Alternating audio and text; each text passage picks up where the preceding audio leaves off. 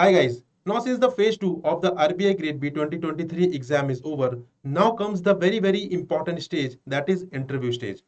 Guys, you have to take it very seriously. You are not supposed to take it lightly. And you have to prepare it in the same way as you have prepared the phase 1 as you have prepared the phase 2 of the examination. उसी तरीके से उतनी ही मेहनत के साथ उतने ही effort आपको लगाने पड़ेंगे for the preparation of interview क्योंकि चैलेंजेस बहुत ज़्यादा है कंपटीशन बहुत ज़्यादा है। जितनी भी नंबर ऑफ़ वैकेंसीज है उसके three times of the candidates will be called for the interview तो अभी जो मंजिल है वो मिली नहीं है अभी आप रास्ते पर ही हैं। तो यहाँ पर आपको अपना बेस्ट देना है। ताकि आरबीआई में आप अपना सिलेक्शन इंश्योर कर सकें। बट एक बहुत बड़ा चैलेंज है while preparing for the interview we are not able to understand the areas that we have to prepare we are not able to understand the dimensions that we have to prepare for the interview. And the reason is simple, that the syllabus is not mentioned. यहाँ पे interview में कौन से areas पूछे जाएँगे, वो mention नहीं है नोटिफिकेशन में so it becomes very very difficult कि हमें क्या प्रिपेयर करना है, कैसे प्रिपेयर करना है। If I talk about the phase two वहाँ पे सिलेबस क्लियरली डिफाइंड है। बट इंटरव्यू के केस में सिलेबस डिफाइंड नहीं है और यही सबसे बड़ा चैलेंज भी है और यही सबसे बड़ी अपॉर्चुनिटी भी है गाइस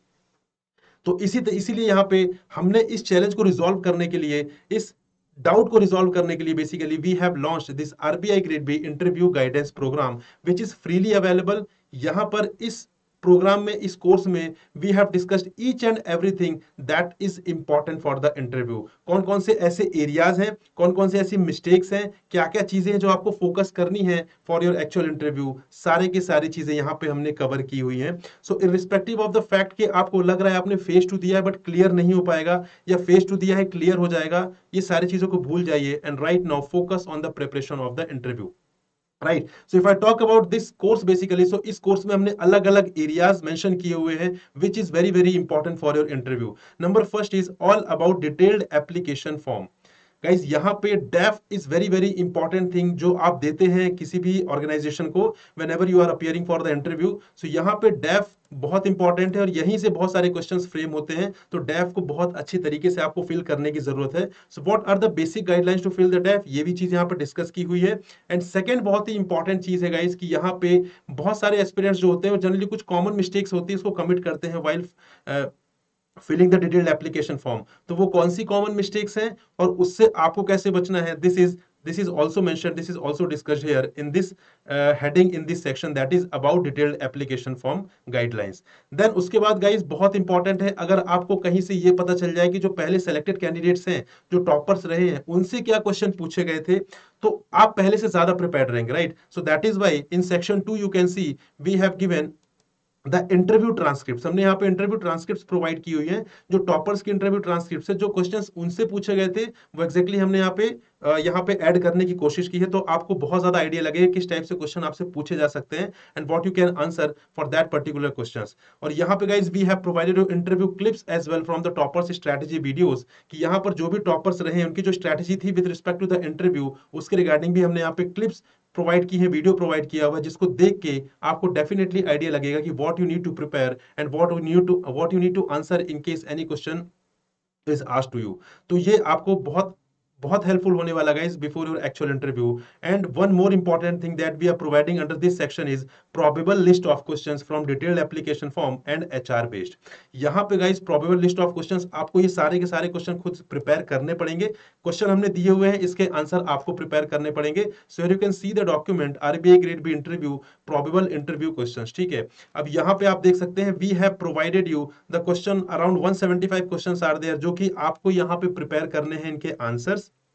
क्योंकि इनमें से पक्का क्वेश्चन पूछे जाएँगे राइट तो ये बहुत सारे एरियाज़ हमने कवर किया है एजुकेशन हो गया, आपका वर्किंग एक्सपीरियंस हो गया आपका, ठीक है? बहुत सारे ऐसे एरियाज़ हैं so that you will also get as a part of this course and which is freely available I already told you right then इसके बाद हम बात करें section third so section section third है हमारा की areas to excel in interview guys कुछ ऐसे एरियाज़ हैं जहाँ पर आप एक्सेल कर सकते हैं एंड जहाँ पर you can score very good marks like for example how to make yourself stand out in the interview आपको पता है कि जितनी भी नंबर ऑफ़ वैकेंसीज है, उसके three times of the candidates will be appearing in the interview itself तो what are the areas what is the thing what is the one very very important thing that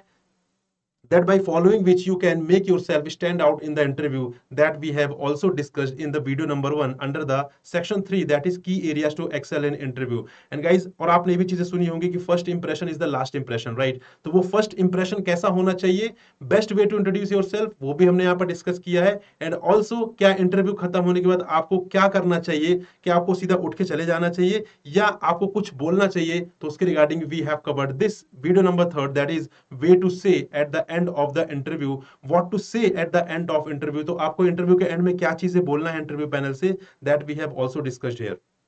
then यहाँ पर section number four है how to handle insecurities during interview friends बहुत सारी insecurities होती हैं। Like for example कि मेरा academic record अच्छा नहीं है। ठीक है, मेरे पास कोई हॉबी नहीं है। मैं बहुत अच्छे प्रीमियर कॉलेज से नहीं हूँ। मैं काफ़ी टाइम से प्रिपेयर कर रहा हूँ तो वो गैप ईयर्स आ चुके हैं बीच में। तो इन सारे के सारे क्वेश्चंस को किस तरीके से टैकल करना है? So these all questions are known as insecurities so how to handle insecurities during interview that we have discuss तो यहाँ पे आप देख सकते हैं, हमने बहुत सारे वीडियोज़ दिए हुए हैं, जहाँ पर आपके मोस्ट ऑफ़ द इनसिक्योरिटीज का आंसर है और इनको देखकर आप उसको इजीली आंसर कर सकते हैं, बिना किसी नर्वसनेस के, बिना बिना किसी एंग्जाइटी के।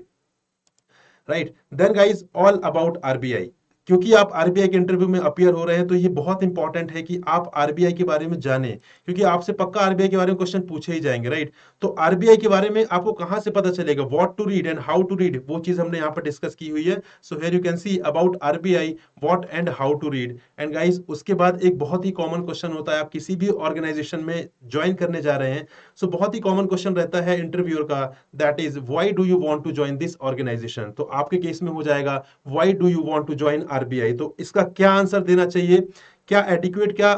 अच्छा आंसर होगा जो आपको वहाँ पे देना चाहिए और जो आपका इंप्रेशन एक अच्छा इंप्रेशन क्रिएट करेगा इंटरव्यूअर के माइंड में? तो उसको किस तरीके से एड्रेस करना है? That we have also discussed here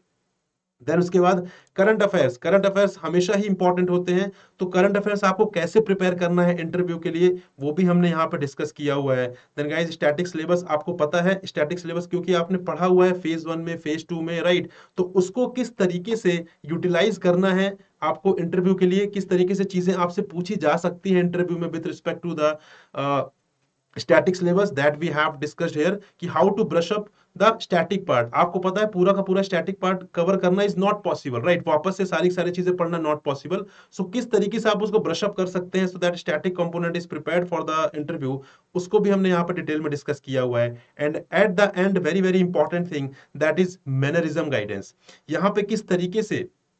किस तरीके से आपको, आपका ड्रेस कोड क्या होना चाहिए, आपको परफेक्ट एंट्री क्या होनी चाहिए, एक ऑप्टिमल जो आई कांटेक्ट होता है इंटरव्यूअर के साथ, वो कैसा होना चाहिए, आपको इंटरव्यू में बैठना कैसे how to sit an interview ठीक है how to maintain the right hand movement ठीक है, हम जनरली हैंड्स का मूवमेंट बहुत ज़्यादा करते हैं तो कितना करना चाहिए, क्या एडिक्वेट मूवमेंट होना चाहिए, अगर आपको किसी क्वेश्चन का आंसर नहीं आ रहा है तो क्या उसे नो बोलना चाहिए, या किस तरीके से एड्रेस करना चाहिए तो ऐसे बहुत सारी चीज़ें हैं, जिसे हम बोलते हैं मैनरिज्म तो गाइस ये मैनरिज्म से रिलेटेड भी बहुत सारी वीडियोस यहाँ पे प्रोवाइड प्रोवाइड की हुई है, जो आपको एक बहुत सटीक वैल्यू देंगे आपके इंटरव्यू में, जो आपको पता चलेगा बेसिकली किस तरीके से आपको सारी चीज़ें टैकल करनी है। अगर आप एक्चुअल इंटरव्यू में जा रहे हैं तो ये छोटी छोटी चीज़ें हैं, जो आपको ध्यान में रखनी है with respect to the mannerism क्योंकि है छोटी चीज़ बट इसका जो इंपैक्ट होता है, वो लॉन्ग लास्टिंग होता है और बहुत बड़ा इंपैक्ट होता है राइट तो छोटी चीज़ है बट बहुत इंपॉर्टेंट है दैट इज़ वाई मैनरिज्म से रिलेटेड वीडियोज़ हमने यहाँ पे प्रोवाइड की हुई है।